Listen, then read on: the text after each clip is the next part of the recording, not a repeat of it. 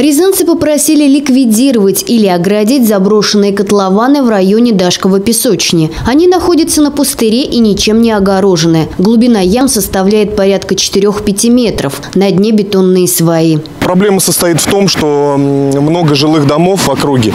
И вот на этом пустыре, как вы видите, ранее была строительная площадка. Стройку здесь приостановили.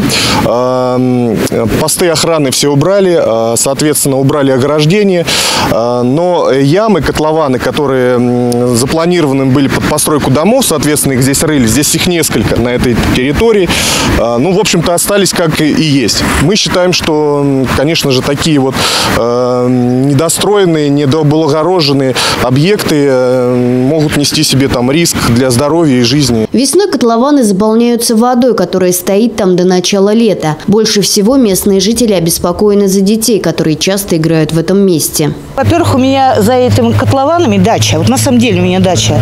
И вот иду утром, когда вот такая есть вот история. Даже нет, сколько раз замечала. Де, дети вот в этом котловане, которые разобрали, кран убрали, прыгают детишки, подростки. Ну, раз прямо вот за сердце берет. Во-вторых, было все огорожено забором, и все было как ну так более-менее. Когда забор разгородили, я вот честно, мне даже страшно ходить.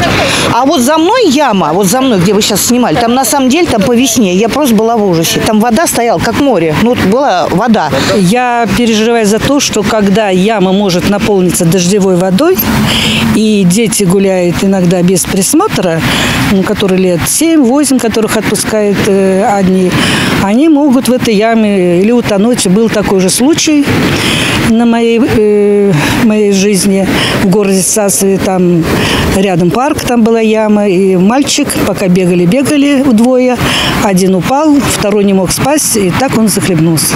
За котлованами находятся дачи, и люди ходят к ним мимо опасного участка. А ведь вечером здесь нет освещения, и свалиться в яму со сваями велики шансы не только у тех, кто возвращается с дач, но и у тех, кто любит здесь устроить шашлыки. Я действительно считаю, что их нужно как-то оградить или закопать, потому что это опасно. Особенно детей. Я живу дом напротив, 18 Песочинской.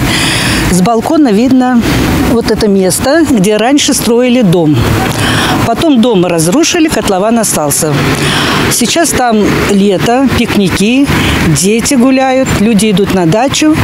Ну, может быть, э, в яму попасть. И вообще желательно, чтобы эту яму за, за, закрыть, закопать. Люди надеются, что власти отреагируют и котлованы в районе Дашкова песочни ликвидируют или хотя бы оградят. Мы будем следить за развитием ситуации. Олеся Котровская, Станислав Кудряшов, телекомпания «Город».